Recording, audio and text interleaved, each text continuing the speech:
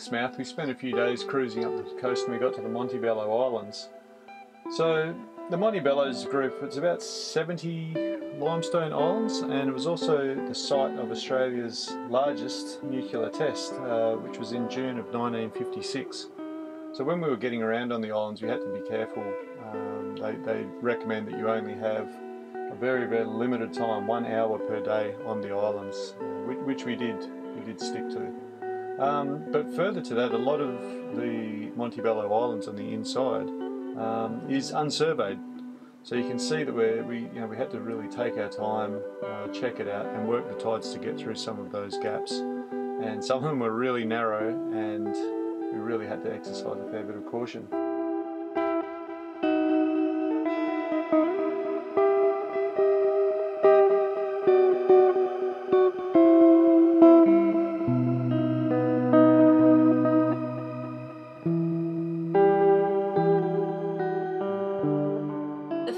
Island we visited in the Montebello group was Trimouille Island, which was the site of two nuclear tests, one in 1952 and one in 1956. The first was an ocean surface blast which exploded the HMS Plym, and the second was atop a 31 metre tower. Our stays were limited to one hour a day, but there were plenty of animals on on the island that uh, they had no choice and it didn't seem to be doing them much harm. All of them had two arms, two legs, one tail, one head. But there was goannas, wallabies, um, just, just loads of wildlife. And here we found the skull of one of the, the wallabies. It gives you some idea of just how small these things are. They look like supercharged rats flying around the place. So it looks like a lockable bulkhead, a ladder. This looks very much like a ship that's been blown up by an atom bomb. I'm surprised there's any, any of it You'd think it'd sort of be vaporised, but that looks very much like a watertight door over there. So the whole construction looks pretty much like you'd expect from a ship. So we've just walked over the narrowest part of the island that you can see behind me and we're off to catch some crays. I hope we're um I hope we're going to be successful. Looking forward to a little bit of lobster.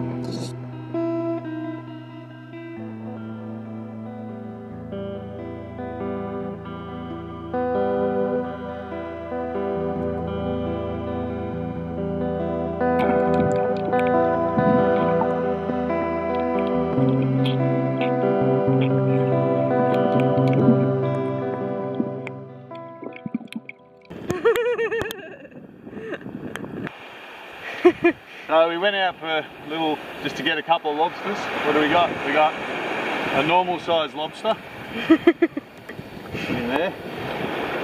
Then we got a pretty decent sized lobster. Not bad. Yeah, put him there. Then we got a bit of a horse here.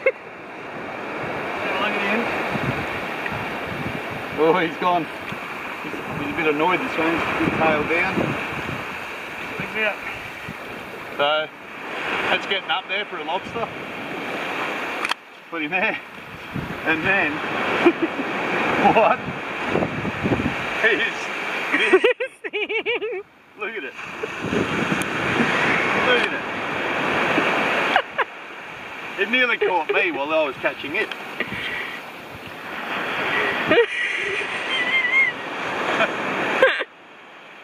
What a lobster. Let's have a look at the arm. Oh, look at that. Give me a love bite, this thing. yeah, that's a bit too cray. So,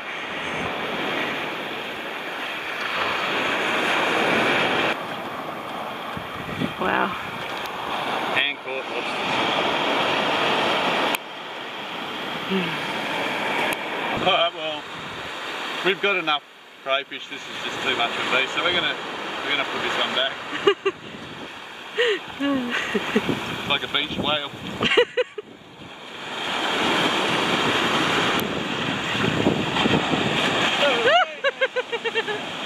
Look at it, big bow wave gone. Looks like a shark taking off. Oh man. Oh well. You see it when it was out of the water, it was all just like, oh, shit, nothing much is going on. As soon as it went back in, it was. Bam. So, Gone. yeah, we got enough crayfish. Lives another day. We didn't need that. that thing.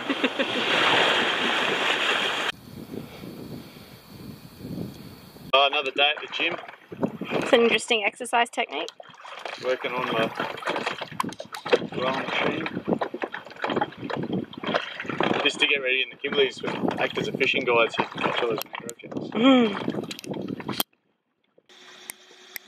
We caught a few crows, we let the biggest one go. Saw that. We gave the next biggest one to some of our new friends. So give them some lunch before they head off. And what what we've got left is pretty medium sized female. I know she's female because she's got these little patches here. That's to receive uh, male sperm, and then later on, as she's laying eggs, she'll self-fertilise those. And this little male here, I guess everything's relative. Oh, knocked his antennas off on the walk home. And I know it's a male because, oh, look, what are these things? I shouldn't really be touching them, should I? But there you go. So there you go, those little spurs, if you like. That's a male. So the female, she's nowhere near carrying eggs because if you look under here, she hasn't grown all really extensive fur and she doesn't have a tar spot. Like normally she would have a big black spot of the male sperm there that she'd hold on onto. So that's, um, I reckon that's lunch for us. Straight through the chest cavity, that's where the main nerve bundle is.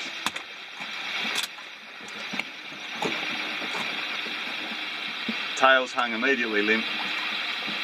The crayfish is uh, pretty much done for. Okay, here's that um, little male, and that's a sperm sac there. Up in the islands, the Thursday Islands around Queensland, just in the cray fleet, they call it PK. It's like PK chewing gum, they actually chew on that. So I'm probably not in the practice of chewing on lobster sperm. Some people are. What does it taste like? I don't know, I've never tried it. Would you like some lobster sperm? No thanks. Why not? Be open to new experiences. No, a lot of the local TI guys love it. I don't know whether they actually know it's lobster sperm because they just call it PK. But there you go. If you're ever adventurous and you got yourself a lobster, there's a new taste sensation for you.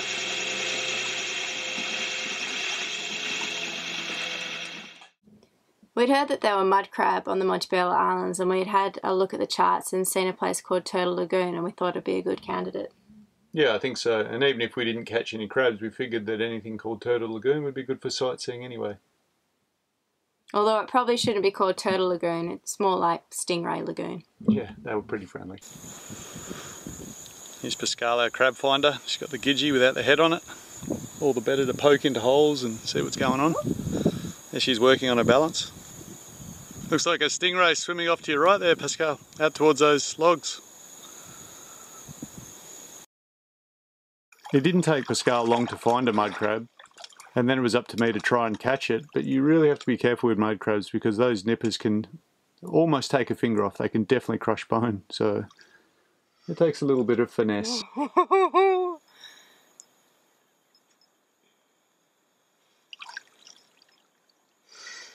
Crab. Mud crab. Mm. How do we know it's female? Because that tail section's a big oval. If it was a male, that would be sharp, coming up to a point, and then down again. And those claws would be a lot bigger. Hmm. I reckon those ones would still hurt though. That's a that's a fat girl though. Yeah, ladies go free. Like get in free, get away free. He's like, what was the point of all that? Shoo.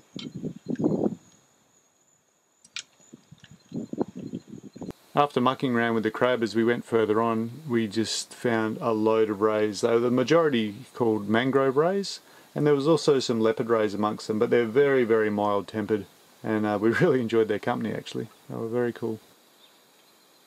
Stingray behind you, Dale.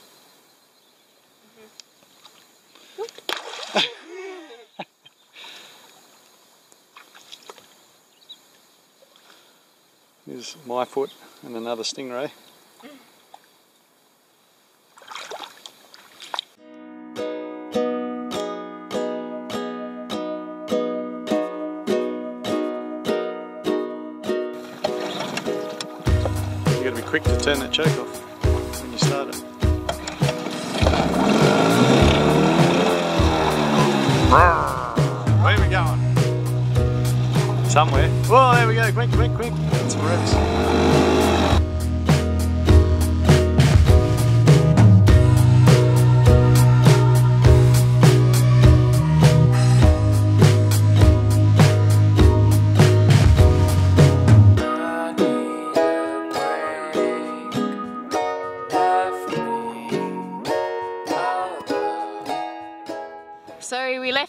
To go to some new coral bommies and we were towing the dinghy behind us.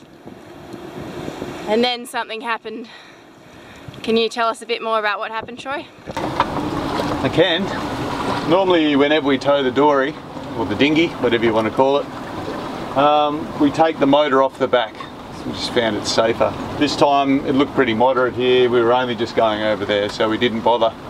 And um, because we broke from our normal protocol, of course, the dinghy, dinghy flipped and the outboard went for a swim. So, if you are going to swim an outboard, can I suggest a Yamaha two-stroke because all the electrics are nicely sealed. Um, there's no oil in the sump. A two-stroke, so I just I mainly need to get the water out of the cylinders, uh, the water out of the magneto. I'll check the gearbox here, see what the. I don't think there should be oil. It's used to being underwater, but we'll check anyway. It might have worked its way down. Um, and that's basically it. So we've got to pull it apart, soak it uh, with a water dispersant. I'm using WD-40, but also diesel and plenty of fuel is going to be used. I've convinced Pascale to let me use the stainless steel bowl. Um, it should be easy to clean, but might have to do a bit of sweet talking there. What else can I recommend? If you've never pulled an engine apart before, have a means of taking photos as you go along, because you might get to a stage and just go, "What have I done?" Um, if you take any outboard to a mechanic, if you can get to a mechanic, we can't. We like to be in remote areas. But um, if you took it to a mechanic like that, just rubbing his hands together and just add another 100% to the price, I imagine. So take some photos as you go. It, uh, it'll help you re-navigate your way back to a, a reconstructed engine.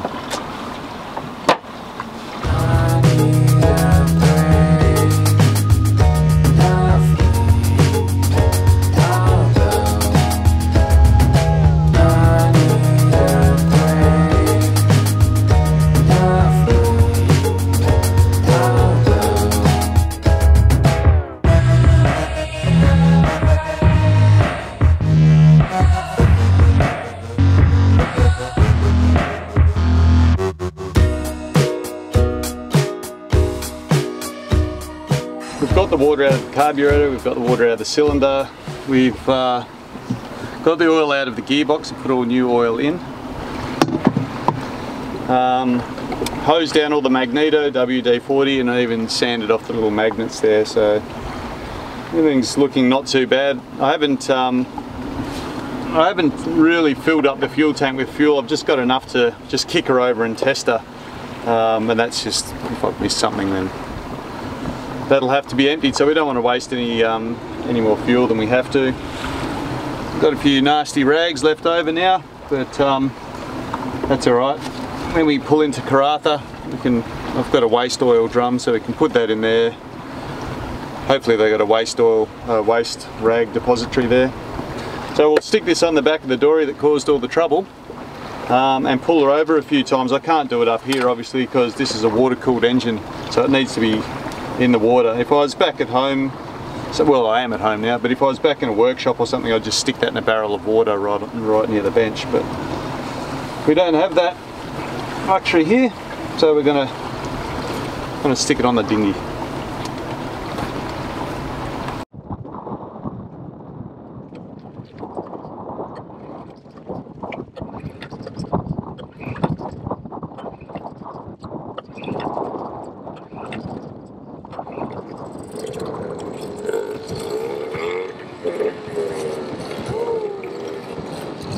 It was a little bit smoky.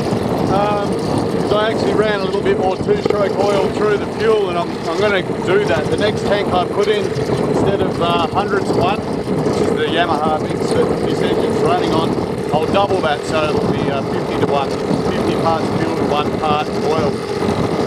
Hell, I might give it a birthday, go 25 to 1, just go crazy, just smoke it up wherever I go. But those insides are going to want some oil. This is a two-stroke, so it doesn't have uh, it doesn't have its own lubricating system. The oil is in the fuel. There we go. That was fully uh, fully underwater. It was at keel level, and uh, now it's back up in the air and breathing again. None of that foreign rubbish, Yamaha. So we found a spot that says dangerous rock on the GPS. We love dangerous rock. We love dangerous rock. And it's in the channel. So we're thinking it's going to be a plenty with mangrove jack and perhaps some striped sea perch, maybe some coral trout as well. We'll just have to have a look and see.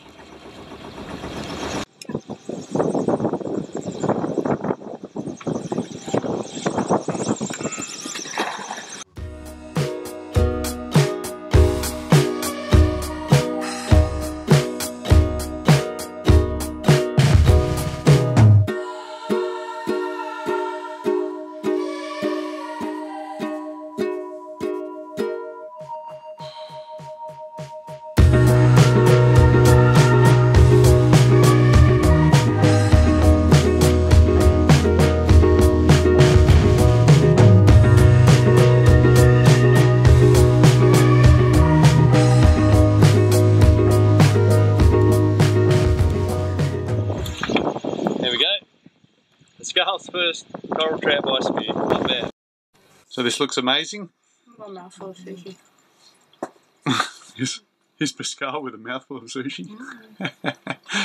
so what have we um, what have you made for us? What are we looking at here? Spicy tuna sushi, nori rolls. Mm-hmm. And then nigiri with um, stripy sea perch raw and yellowfin tuna, yellowtail tuna, Yellowfin tuna. yellowfin tuna, and then these ones here are coral trout, and then there's some more yellowfin tuna. So reef fish and tuna. Sushi Nice. with some wasabi and some soy. That's the legit wasabi as well. Mhm. And I guess it's uh. So yeah, there you go. Soy. Mhm. Reef fish and tuna, Japanese feast, complete with green tea. Hmm. There's Cheers. the maestro, the chef. As we were opened the engine room today to get going to move to a, another anchorage, uh, we've discovered that the exhaust is broken. Uh oh. Oh Uh-oh. What do we do? With some assistance from Coles Italian whole peeled tomato pieces, which we've eaten. We do have an empty can here, so I'm going to apply some tools to this. We're going to make up a metal sleeve and put it on. Unfortunately, it's on a bent bit of pipe, um, so it might need a little bit of I don't know. I don't know what it's going to need. We're just going to have a go at it. So you've joined us right at the start of this little adventure. This repair is going to necessitate pulling out everything on the boat because everything that we need is at the bottom of everything else. And that's part of living on a boat. Basically the backbone of this repair is this bit of tin we've cut from the Coles tomato. Thank you Coles. We're going to have a bit of an overlap there. All right. Um, bit of spiral, so because like it's it is on the bend, and then we're going to hose clamp that like crazy, and then insulation, and then no marine repair is complete without gaffer tape. So, so we've got a trusty screwdriver. I love this screwdriver. By the way, don't I? Look, what's in here? You can always find the right blade for the job.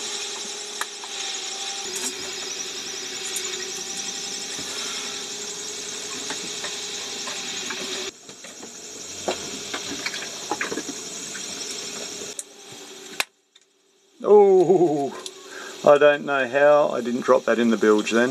That is, it's all part of repairing a boat, isn't it? Just dropping everything that you love in the bilge.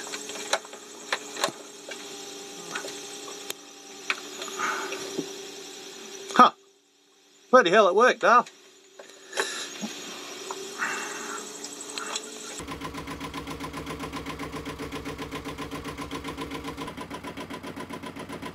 Alright, so we just had a, a half hour test run then. I had the head sail up just to take the load off. We were doing about four knots. Was just pootling along at about 1500 RPM um, and it's held. So that's the crux of it really. So the metal reinforcing has held it rigid. The uh, insulation and the tape. The tape seems a little bit hot, it's gone a bit soft, but um, I felt the whole thing and it's, it's sound. We had a little bit of exhaust still leaking, but uh, it's definitely enough for us to get out of here. Then we can sail to Dampier and then we'll go in search for a muffler guy. As we were pulling up the anchor we saw uh, a gang of squid and uh, Troy took it upon himself to throw the jig out. He's slime. And he's been sli slimed. Slimed hard.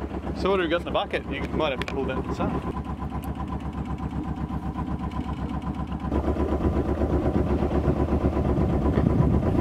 the big eyes.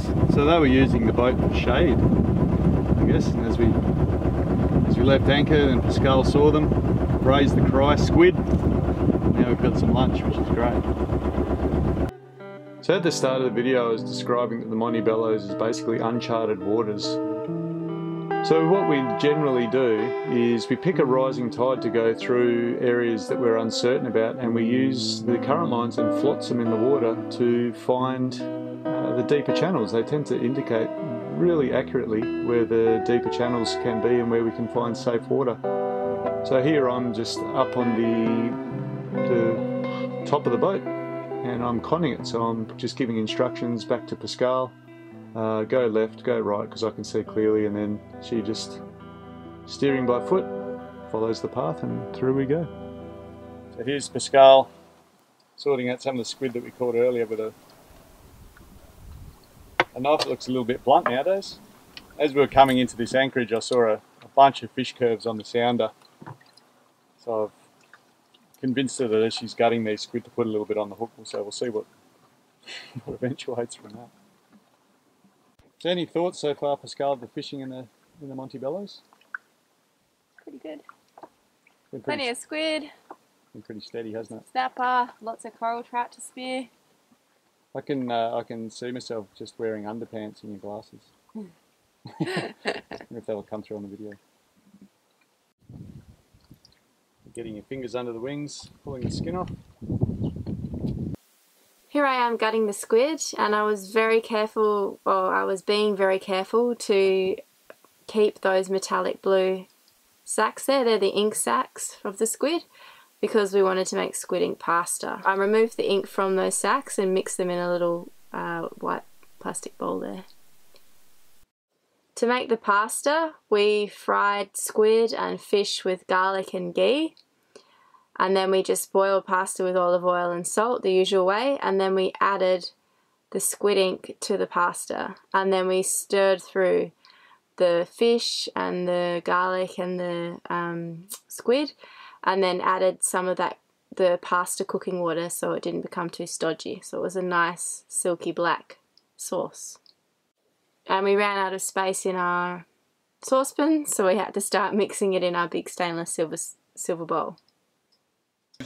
Here we've got some squid ink pasta. I haven't had it before. Have you ever been watching one of those shows and someone cooks something up and you, you want them to have a taste and then just spit it out? They always say, oh, it's delicious, and you're disappointed. Well, this might be one of those moments. Let's have a look.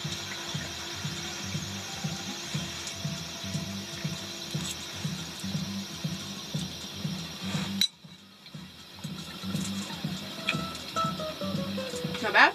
Nice. What do you think, Pascale? I think it's delicious. Yeah, I think so as well. I've had it before and it's been too much ink, but we've got just the right amount here. Okay, so well, it's good to see your lips, your chin, Right? they're black, your teeth. Gives a smile.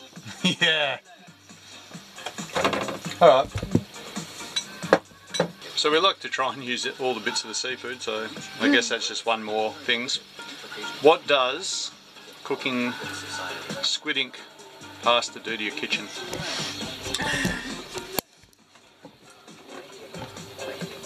Survey the chaos. black. A bit more black. More black. and it just goes back to being orderly again. So Not really. the skull, It's pretty chaotic. it is a bit chaotic, Feeling isn't it? a it? little bit anxious about it right now. Are you? Yeah, Because it's on film or just in general? just generally. Well, we sail tomorrow, so don't worry about it. We'll sort it out.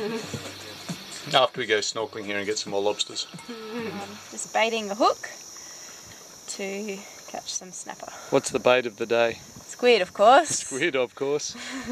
Everybody loves squid. They do.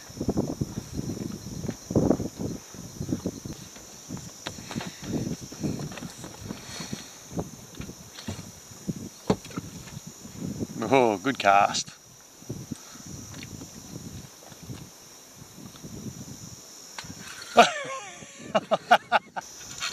That's it. Let the rod take the shots. Oh, Jesus. I thought, what went snap then? Was that just you closing the bail arm? No. it's the fish fighting.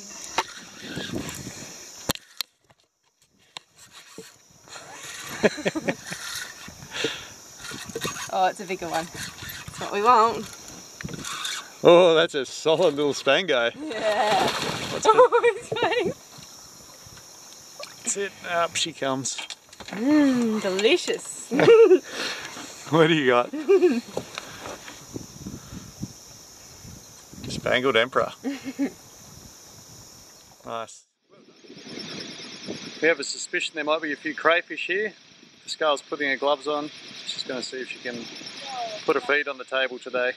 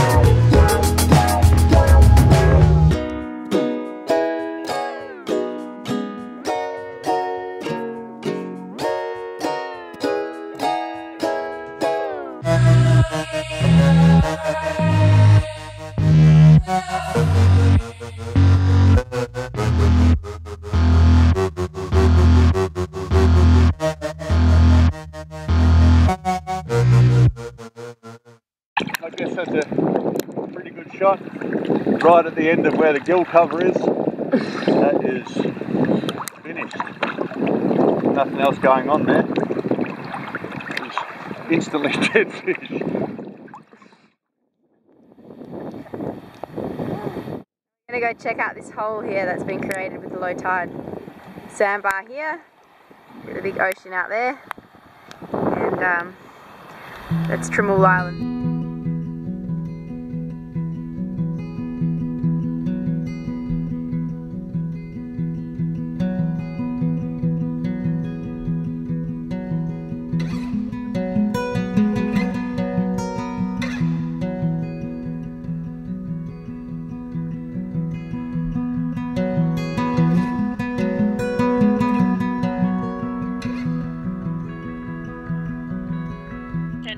Pretty amazing snorkel right here.